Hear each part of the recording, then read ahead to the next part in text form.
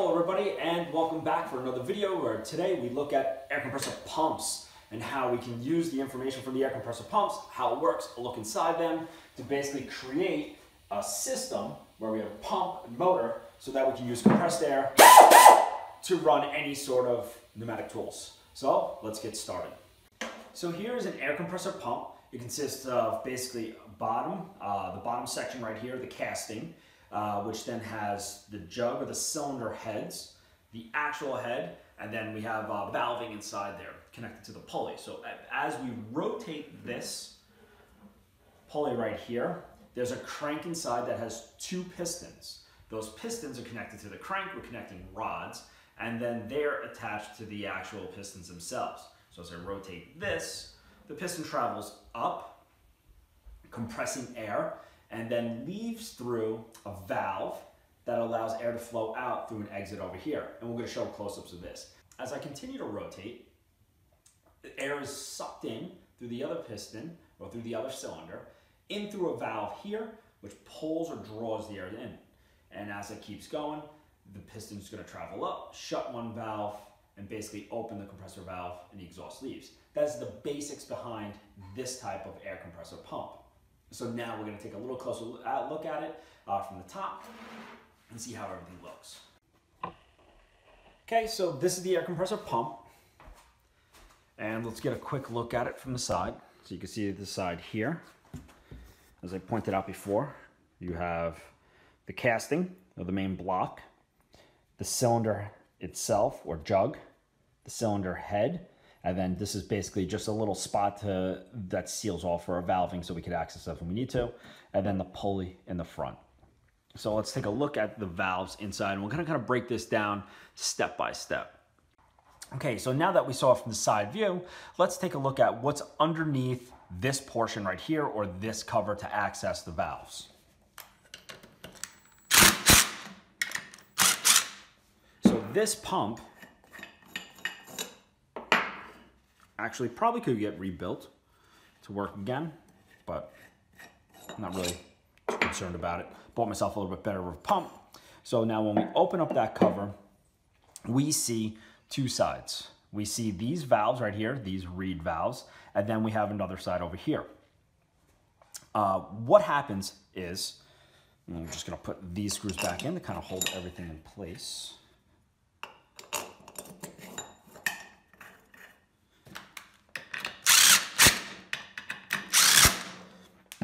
What happens is, is as we rotate this pump, the pistons inside are traveling within the bores of the cylinder. As we continue to rotate in a clockwise direction here, air is going to get pulled in. These valves, might be able to show it here. If I push, you could see that I can allow air in. So it's going to pull or draw air in as those valves, or as, uh, sorry, as the cylinders or pistons are moving down in the cylinders. On this side, these remain shut, so there's no, they barely move, or just a little bit. So we're gonna pull air in, in, in, in. Eventually what's gonna happen is the pistons towards the bottom of their stroke are gonna start moving back up in the cylinders. That's gonna force these valves closed and then allow the air to come out here and then exhaust out through this side. And that's the basics of it. We can go in deeper and see the actual pistons traveling up and down. So when we pull the actual head off, take a little bit closer. Here we go. You can see those valves there, and I can actually, oh, let's get something from this side. And you can see we can push and move those valves, those little reed valves. Uh, some people will actually rebuild these valves. So you can see that one. They're actually a little bit different spring rates on them. Uh, this will allow air to get drawn in and then as this one too. So I'm, I'm assuming, I just noticed this for the first time, that basically towards one end of the stroke, it's easier to pull open. And then here, as the stroke gets a little bit further or the piston's in a different spot, this one valve right here will also allow more air to come in. Okay, so those are those. Then these are the exhaust. Right there, and if we could push on those, you can see they, they may move a little bit. I think this one, one of them was definitely easier. There you go. Those are the exhaust. Okay, so that's the head. There. there. Now, as you can see as I rotate this clockwise, okay, like that, you can see that they travel. Let me see if I can get this somewhat situated so it doesn't move.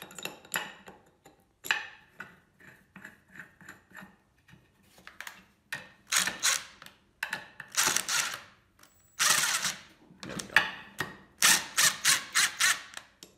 go. Okay. So now you can see here how those pistons move up and down inside. I mean, this is really no different than a car motor or engine. There we go. And up and down. What allows the compressor to actually work or these pistons inside the cylinders to create a tight seal are these rings right here. So these rings basically will sit in grooves inside those pistons and we'll take a look at those too as we pull this off. If these rings that are sitting inside there, they apply some sort of spring tension against the cylinder walls are not sealing properly, then basically it'll allow air to seep through past the pistons and into the crankcase here and uh, won't do its job. So let's pull this off now.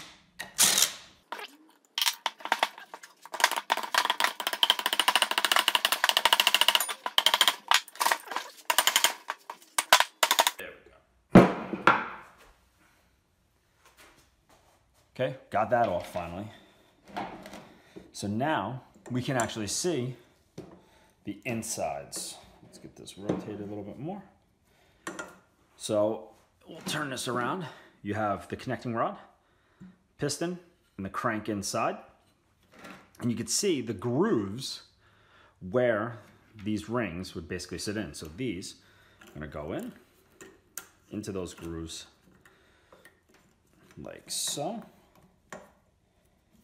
like that. And you can see they kind of float inside there. This bottom one is an oiling ring. So there should be oil in the bottom of there. And as it splashes around and lubricates everything, this will scrape the oil. And then you have two sealing rings, basically one here and here. Now what happened with this one is the oil was basically either run dry or really, it was like really stiff oil. Um, this got all gummed up and then basically seized up inside here, inside the actual uh, cylinders themselves. And it basically just caused it to stop running. Uh, it could probably get rebuilt. There's kits for these for new rings, so I could eventually rebuild this, uh, new gaskets and everything like that. But that essentially is the inside of an air compressor pump or piston style air compressor pump. Uh, so what I'm gonna do next is show you basically another, uh, another piston style pump, just a little bit different configuration, how it works with the air compressor and everything else. What we have here is a 60 gallon air compressor. Air compressors are usually denoted by the size of the actual tank, and then we look at things like the horsepower and the PSI rating of it. So 60 gallons of air can be held inside here. We have a six horsepower electric motor connected to a pump. This pump is similar to the other one, except that instead of the cylinders being Uh, right next to each other, they're opposed up here into this basically V-shaped pattern. So we have a cylinder here, cylinder here, with pistons inside them. These are air intakes. Basically, as this electric motor turns the pulley that's in back over here, it will cause the crank inside to rotate, moving the pistons up and down. The air comes in through here, and just like the other one, there's a series of reed valves that will allow air in on the intake stroke and then close on the compression stroke. Then the air is forced, you'll see this tube back here, out into, and let's get this a little bit closer over here. Okay. So this is gonna be that exhaust tube and then that's gonna run into this copper tube right there. That copper tube then goes into the tank and that air gets compressed and basically we can read the pressure inside the tank. So right now I've had it turned off and not running and it's holding at around a little over about 85 PSI. Notice here we got the little stanchion coming off, which connects to this. This, this box right here is for an automatic shut off. What it does is it's able to sense the pressure through this tube that comes up and wraps around to a shut off switch. So basically, as that pressure builds up, this one down on this side is gonna get move up, up, up, up, and eventually it contacts this very little pin that you can see there. When it contacts that, it stops, it uh, shuts off the power to the electric motor and basically bleeds any pressure that's left in those at the same time so that they're not continually under pressure and then it shuts off. When this, um, basically when we run the pressure out, it'll cause that little pin to basically pop down. Uh, it trips then for the circuit to go and that's it. It starts back up. Over here on the outlet side of the tank, so we leave out through here. I have a valve, so I can actually turn this on now. You hear the air going in. We go through a filter, basically a little bit of a water separator. You can actually see some droplets of water in there. I'll talk about that in a moment. To the actual gauge pressure. So now here I can adjust the pressure up or down of what I want my tools to run at. And then they're fed to a coupling and then out into the hose. And then that is essentially our whole system. Now we do have a couple of prob- uh, a couple of issues with air compressors. One issue is that as I pull air in, uh, I'm compressing air to roughly 145 to 150 psi in this tank if I let it run. When I'm compressing all that air, yeah, let's just set this back up.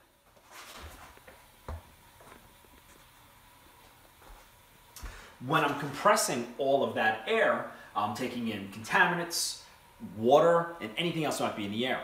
So as the air comes in, I'm collecting more and more water. Also, as air compresses, it heats up. So not only are we getting warm air or hot air, but then that hot air is able to collect more moisture. And that moisture can collect inside the tank. So basically as I compress it, heats up, and as I let it sit and cool, whatever water vapor is in there is gonna condense and form into liquids, and then these have to drain out. The water and contaminants can damage tools. So then we have that little system over here on the right to basically help filter out any contaminants from the system. Also because it's slightly bold design, it does allow for a little bit of expansion which cools air and can collect some water here. Uh, sometimes there's a little valve on the bottom here that I can push up and you can drain a little bit of water out. They do sell desiccant filters that'll basically pull even more water vapor out of the air. But uh, for and that's usually more for spraying uh, like air guns and, and paint guns and stuff like that. But that's the basics of your compressor there. And that's it. And I'm trying to think what else there is. I don't think so. There's not much. That's your basic compressor. Uh, a couple things are important when replacing motors. So I replaced that one motor I showed earlier with this one. This one is able to, it's got um, bigger bores and pistons in there so I can compress more air quicker. It also runs at a higher PSI. The issue that we need to do is make sure that this pump is operating at its peak RPM. So that pulley in the back is rotating at the correct speed so that the crank, pistons, and everything, that rotating assembly inside, can do its job effectively. Uh, for this one, it's a little over a 1,000 RPMs. But the motor itself actually rotates at around 3,600 RPMs. Uh, and that's uh, located on a sticker on the side of the motor. The issue we come into is that we need to find the correct ratio for the pulleys from here for the electric motor to this, to the actual cast iron pump. So we'll actually go through that math as like a little bit of review what we did earlier in the year. Uh, I'll show you how that's done. And then we'll also look at basically the, P, um, uh, the PSI that's generated um, from the actual pump itself and a couple of other calculations too to get us through. Uh, that's really about it. Air compressors, not terribly too difficult. You got to see inside a um, older uh, twin cylinder pump and here it is all up and working. So I hope you enjoyed this. Any questions, let me know. Uh, we're gonna go run through some math now. Okay, so one of the first issues that we encountered is that when replacing the pump on our air compressor, that the electric motor had a pulley on it. The air pump itself also has got a pulley on it. So we're just drawing a real basic pump here. It's cooling fins. So that pulley on that pump measured 14.5 inches. That is our air pump. And we need to run at 1050 RPM. That is the that's just uh, designated by the manufacturer. Our electric motor, here we go, like this, runs at 3650 RPM. Motor, and it's connected with the belt from here to around there, belt. So we need to get the proper size pulley. So what pulley do we need on our electric motor? To use that, we use gear ratio. So gear ratio of D out over D in equals angular velocity in over angular velocity out. Our output size is 14.5 inches over x, which equals our input speed of 3650 RPM over our output of 1050 RPM for the air pump. So then we can multiply 14.5 inches times 1050 RPM, and that equals 3650 RPM times X. Divide both sides by 3650. So we get a final equation of 14.5 inches times 1050 RPM over 3650 RPM equals X in inches. And when we plug that into a calculator, I believe we get about 4.17 inches. So what, since they didn't sell a 4.17 inch pulley, I rounded up to a 4.25 inch pulley. Now the advantages of that is that it'll make the actual output speed slightly slower, uh, which saves a little bit on air compressor life. So we need, for the electric motor, 4.25 inch pulley. And there you have it. That's how you calculate the uh, pulley size for when you're doing an uh, air compressor swap with uh, the same motor, or vice versa. You could replace the electric motor and then get a different size pump pulley right there as well. Uh, sorry, electric motor pulley. All right, so that's the first problem all done. Okay, for our next one, let's suppose we have a piston that's got to apply a label. So there's my piston a label to some sort of piece of mail. So there's the mail. And it's going to push down onto that. That's our label. And we know that this piston, let's say it is 0.5 inches in diameter. It needs to apply a force of 5 pounds to get the label to stick. So what gauge pressure do we need to fix the label? So it's pretty straightforward. So we're going to use pressure equals force over area.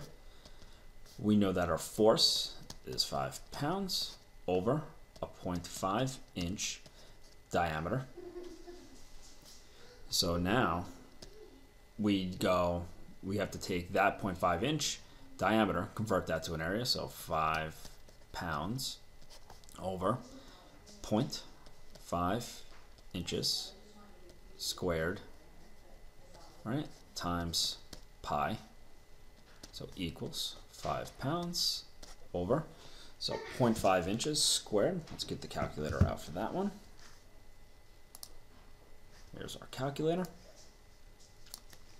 So 0.5 squared is 0.25 times pi equals, so that's 0.78. Let's move this out of the way.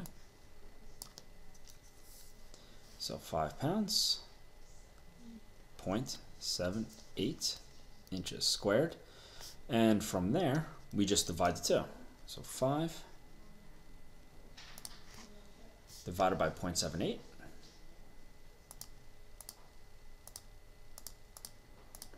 And we get 6.4 psi. So you would actually end up setting the gauge on the uh, regulator to about 6.4 or 7 psi, and then that would properly affix that label to that. Relatively straightforward. All right, uh, that's the last problem from here, and uh, the rest I'll give you some uh, to do on your own. Okay, have a good day. Bye.